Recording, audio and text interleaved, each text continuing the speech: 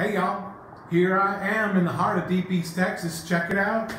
Uh, got a cool little video for you today, real quick. Uh, just wanted to tell you, uh, I'm going to start feeding the birds.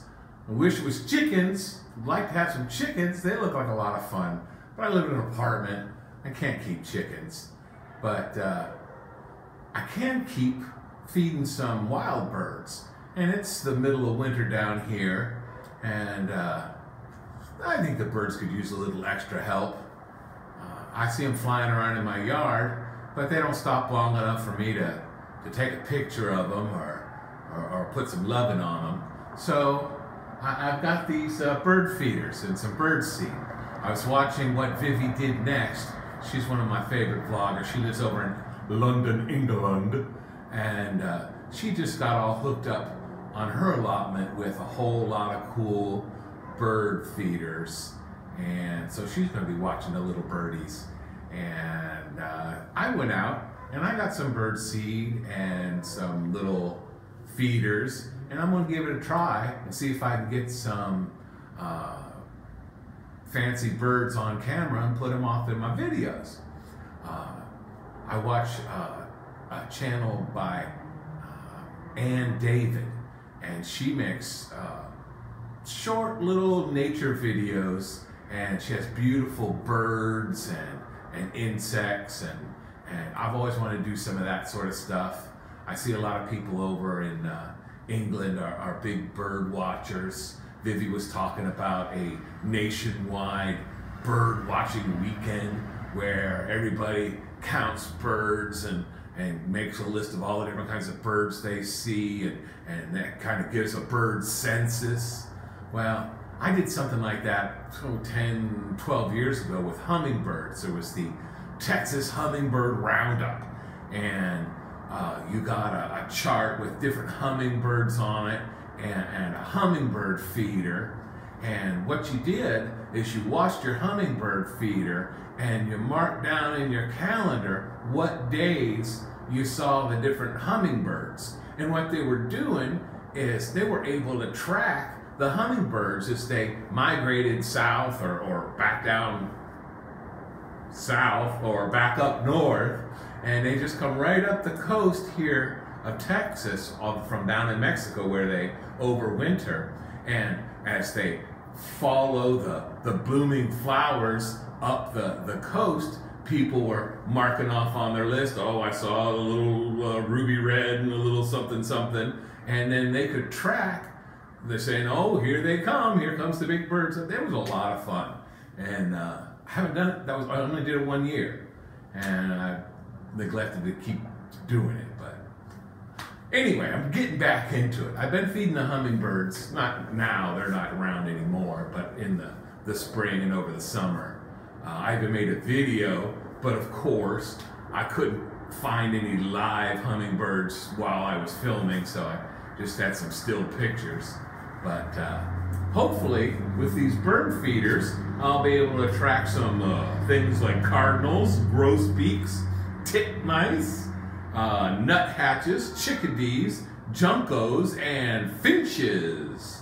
Yeah. So I went out to the store and I got one of these little seed bells. It's a bunch of seeds all pressed in there, sunflowers, the the black black oil sunflowers these are the kind of sunflower seeds that uh, Patricia in Cube is trying to grow. She'd never seen black sunflower seeds before. So uh, if she grows them, she can uh, save them for her birdies because the birds love to eat them. Well, she likes to eat them. And uh, it's got uh, shelled sunflowers, seeds, and peanuts, safflower, and white millet. It's all pressed together, some kind of hopefully harmless glue holding them all together. And then I got one of these really cool little uh, suet hangers. Suet! And uh, it's got uh, cracked corn and some peanuts and some other little things off in there, but it's mostly the, the suet, the fat. And I guess little birds need that in the, in the winter for energy and maybe waterproofing. I don't know, rub a little out on your beak. And then I got this cool birdseed uh, bird feeder. Isn't that neat? And it has different uh, little portals you can change out. If you got the real fine thistle seed, you can put these little smaller little things in there. But I got this regular bird mix, and uh, actually it looks kind of cheap. I'm gonna go and look and see if I can't find some with more nuts and berries. And uh, but this will do good. And uh, I'm gonna go and hang them out in the backyard where I can see them from my apartment, but also I can see them when I'm out in the garden.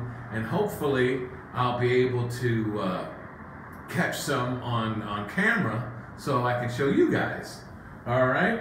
Uh, so I gotta get something like a, string or something to hang this up. But then I'm gonna I'm gonna go out back and uh, find a place to hang them, and uh, I'll show you when I get them set up. Maybe we can catch a bird on camera. All right? Okay, let's go do this.